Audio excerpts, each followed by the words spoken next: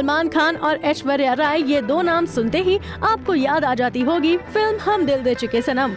इस फ़िल्म में दोनों को साथ देखकर, दोनों की केमिस्ट्री देखकर आप सबको हो गया था इस जोड़ी से प्यार। पर्दे पर साथ दिख रही इस खूबसूरत जोड़ी का प्यार रियल लाइफ में भी परवान चढ़ा। लेकिन फिर एक दिन दोनों हो गए अलग। टूट गया इनका रिश्ता।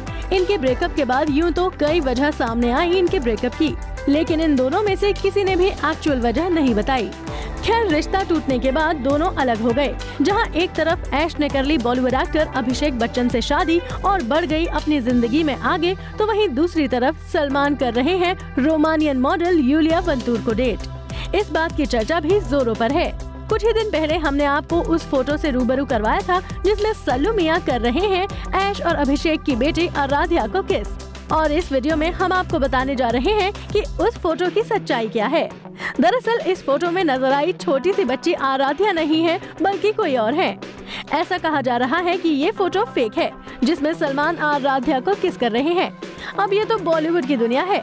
यहाँ हर दिन कोई न कोई खबर आती ही रहती है, और वहीं दूसरे ही पल वो खबर अफवाह भी बन जाती है। खैर, अभी वीडियो को लाइक करें शेयर करें और अभी चैनल को सब्सक्राइब करें।